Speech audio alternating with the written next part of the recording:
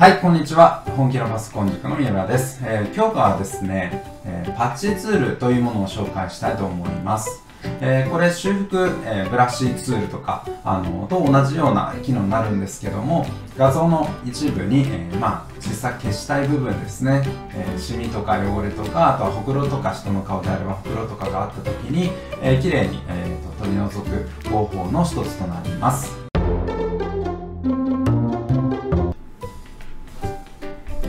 はい、ではやっていきましょう。えっ、と、今回もですね、このワンちゃんの写真を使っていきたいと思います。えー、皆さんもご自身の、えーお好みの写真を、えー、Photoshop で開いていただいて、え使っていただければと思います。どんな画像でも基本的には使うことができます。え今回はですね、このツールパネルの上から、このような絆創膏みたいな、あのスポット修復ブラシツールというアイコンがあるんですけども、ここを長押ししていただいて、このパッチツールというものを選んでください。はい、えー、とこのパッチツールっていうものはですね、まあ一回やってみますね。例えば、この黒い点を取り取り除きたいなと思った時に、まずこの取り除きたい範囲を囲って、ちょっとうまくダメですね。えーこれミスった時はですね、コントロールキーと D ボタン ABCD を押すとこの選択範囲を消すことができます。Mac の場合はコマンド D ですね。で、もう一度ちょっと選択してみましょう。はい、これで、えー選択することができました。で、ここ取り除きたいなという時に、この選択範囲が今作られたんですけど、この上にカーソルを合わせると、このようにパッチツールのアイコンが出て、えー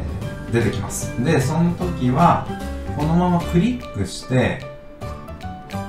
このように、まあ、右とかに動かしてあげてみてください。そうすると、この動かした先の色が、この選択範囲の中に入ってきます。で、あ、このぐらいがちょうどいいかなと思った時にクリックを離していただくと、で、えっ、と、コントロールプラス D ボタンですね。この選択範囲の解除をショートカットキーで使ってやってるんですけども、えーコントロールキーと D ボタンを押すとこのように、えー多分この辺をサンプリングしたのでこの辺の色がここに適用されました。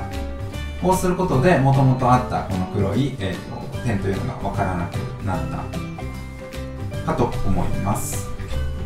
もともとはこんな感じですね。えー、とこれがこのパッチツールの、えー説明となります。はい、えー、とパッチツールいかがだったでしょうか、えーこれ自分の写真とかでやるとなんかどんどん嫌な部分を消したくなるみたいな衝動に駆られるんですけども、えーまあ写真の場合は、えー本当にちょっとどうしても、えー取り除きたい部分を取り除くだけにした方が意外と自然に見えた方が綺麗だったりしますのであまりやりすぎには、えー注意してください、えーでは今回の動画も良ければグッドボタンとチャンネル登録の方よろしくお願いします、えーではまた次回の動画でお会いしましょう。